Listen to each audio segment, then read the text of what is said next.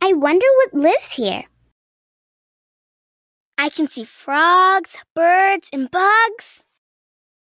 I wonder what's living down inside the pond. Let's take a look under the water and find out.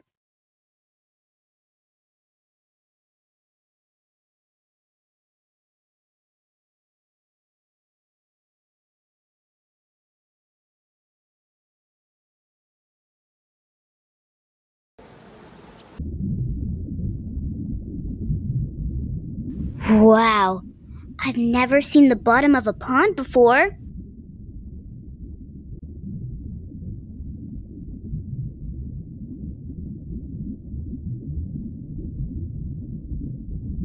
There's so many amazing plants and animals. Let's make our own pond. Great idea. Let's start our pond by adding rocks. Tap on the book if you want to hear about the things you can add to the pond.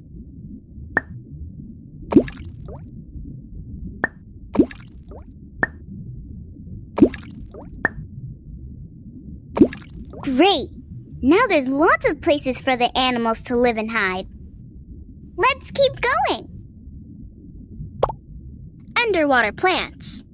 Floating plants. Ooh, now we get to pick a plant to add. You can always use my book to hear more information.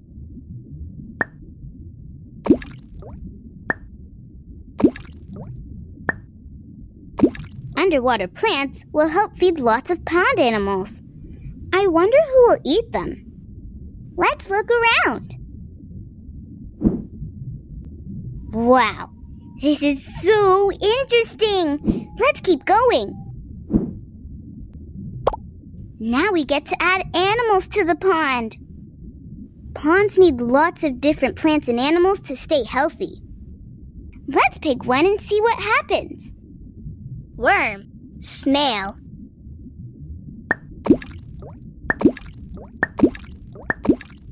These wiggly worms are so tiny. I wonder what other small animals live in the pond. I notice that each time we chew something, the pond changes. Look, we're going up. I wonder what we'll discover.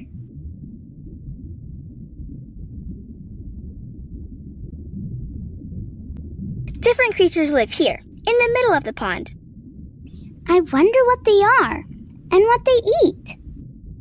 Tadpole, dragonfly larva.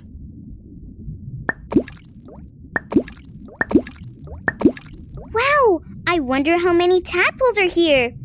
Count how many you see. We could take a closer look at the plants and animals in the pond with this magnifying glass. Move the magnifying glass over a plant or animal and click it to see it up close. I noticed that the little worms wiggle when they swim. I think this is because they don't have fins like fish do.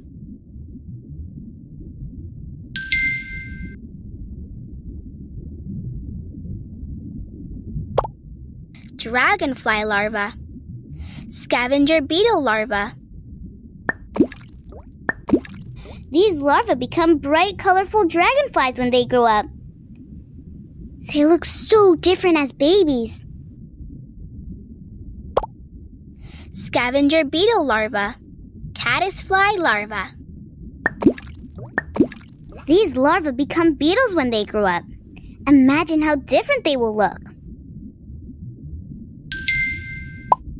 I notice the dragonfly larva has a big bottom lip that helps it scoop up food. What do you notice? It looks like tadpole bodies are just a head and tail. I wonder how the body parts will change as it grows into a frog. I noticed that the little worms wiggle when they swim. I think this is because they don't have fins like fish do.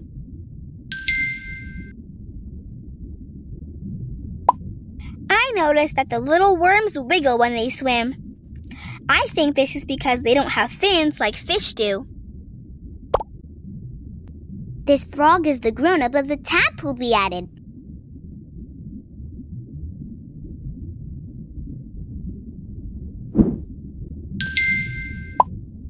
I noticed that this frog has green skin, covered in spots. Do you think that helps it hide?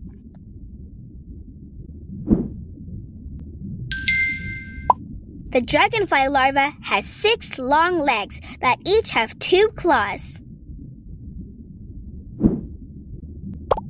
Now we're near the pond's surface.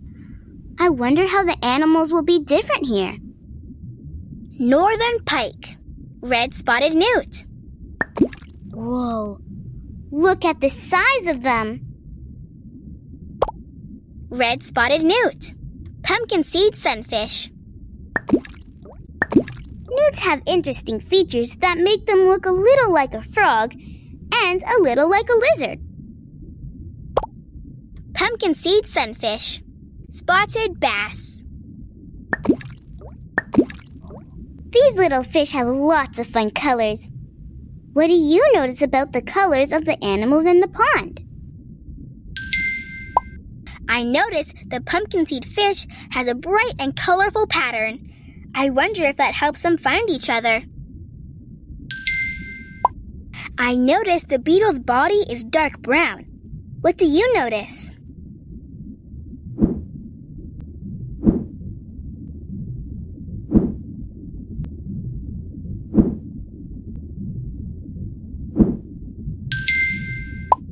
I notice the newt's skin is bumpy.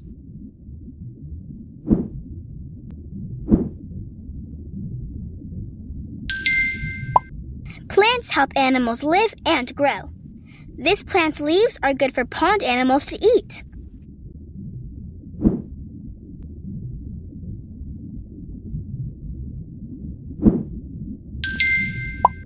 I notice that the little worms wiggle when they swim. I think this is because they don't have fins like fish do. This dragonfly is the grown up of the larva we added. We've reached the top. I wonder what new things we'll discover. Heron, kingfisher. The great blue heron mostly eats small fish. Mallard duck, painted turtle. Mallard ducks like the pond for bathing and finding food. Kingfisher, painted turtle.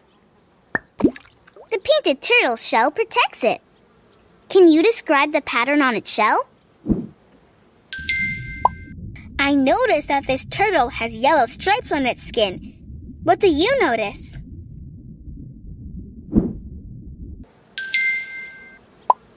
This frog has long back legs that help it hop around on land and swim in the water.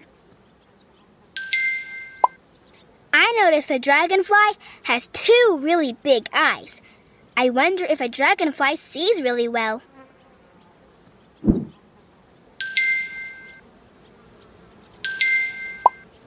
I notice the mallard duck has a bright blue patch on its wing. What colors do you notice?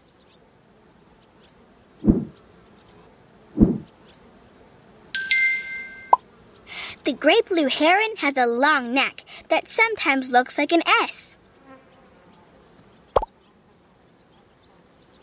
We finished our pond. That was so cool. Let's keep exploring. You can keep exploring, or you can make another pond. Do you want to start a new pond? Click this button to look at the creatures you've discovered. My animal. Ooh, we can make a whole new pond. See what happens if you try adding new plants and animals to your pond. Rocks.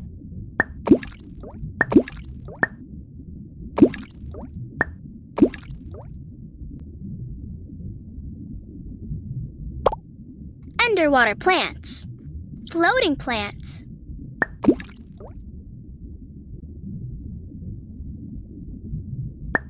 Floating plants make good places to hide. Worm. Snail. Snails have shells to protect them. I wonder what other creatures have shells. Scavenger beetle larva. Caddisfly larva. I wonder what the caddisfly will look like when the larva grows up. Scavenger beetle larva. Tadpole. These larvae become beetles when they grow up. Imagine how different they will look. Tadpole. Dragonfly larva. Wow! I wonder how many tadpoles are here. Count how many you see. The scavenger beetle is the grown up of the larva we added. Pumpkin seed sunfish. Red spotted newt. These little fish have lots of fun colors. What do you notice about the colors of the animals in the pond? Red spotted newt. Spotted bass. Look carefully to spot the differences between the pond creatures. What do you notice about the animal sizes? Red spotted newt. Yellow bullhead catfish. This fish is called a catfish because it has feelers on its face that look like cat whiskers. This caddisfly is the grown up of the larva we added. Teal duck. Map turtle. Ducks have special webbed feet that help them paddle through the water. I wonder what other animals have webbed feet. Heron. Kingfisher. Kingfishers have pointy beaks that help them go fast when they dive into the water. Map turtle. Heron. Map turtles' strong beaks are perfect for eating their favorite food, snails.